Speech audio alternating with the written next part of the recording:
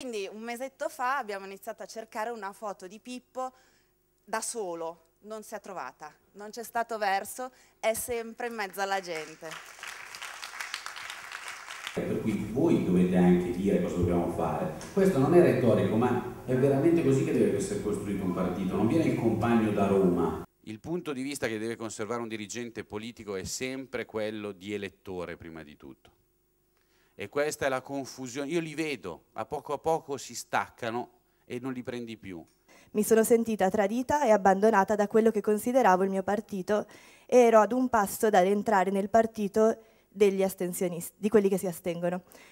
Tuttavia ho avuto la fortuna di incontrare di conoscere Giuseppe Civati e tutte le persone che sul territorio milanese lo seguivano. Rappresentavano allo stesso tempo la mia delusione verso la politica, ma anche la mia speranza verso un futuro possibile. Che alla fine della nostra legislatura la disuguaglianza si sarà ridotta e quegli indicatori della disuguaglianza saranno cambiati. La disuguaglianza è determinata da condizioni materiali, dalla scuola, dalla scuola, dalla, bisogna ripeterlo tante volte. E la terza cosa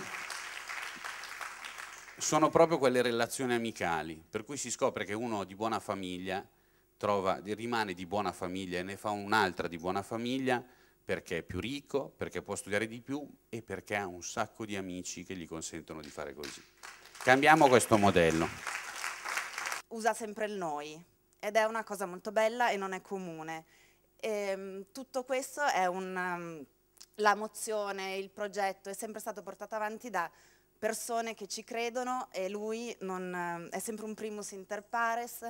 Questa è la differenza sostanziale. Io ho trovato in Civati questo, onestà intellettuale, uno che dice le cose che pensa, uno che ti chiede cosa ne pensi te, quali sono i tuoi problemi e viceversa. Io sto male io in Parlamento sto male da sei mesi. La mia proposta è che noi tutto l'anno abbiamo un rapporto costante con voi.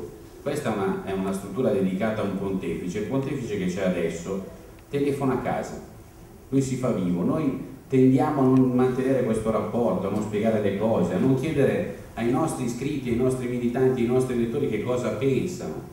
A volte lo sappiamo benissimo che cosa pensano e facciamo il contrario.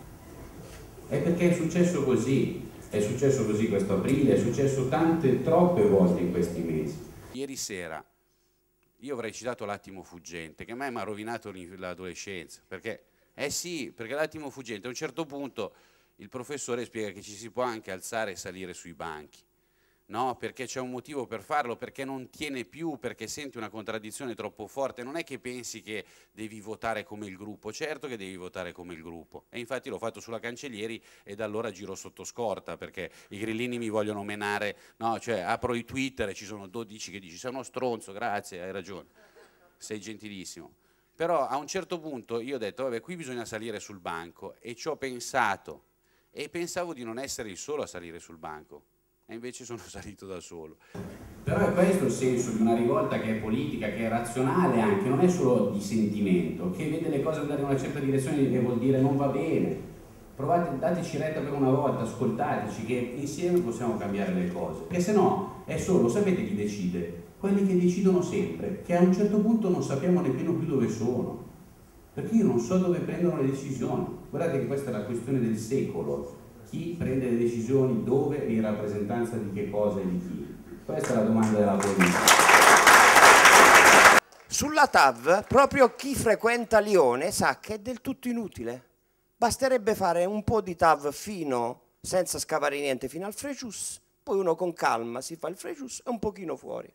La TAV va diffusa, non serve, è troppa, è sproporzionata, di, guardate che non lo dicono quelli che tirano i sassi, lo dicono quelli che tirano i numeri, i PowerPoint, le slide, quelli della Bocconi lo dicono ormai.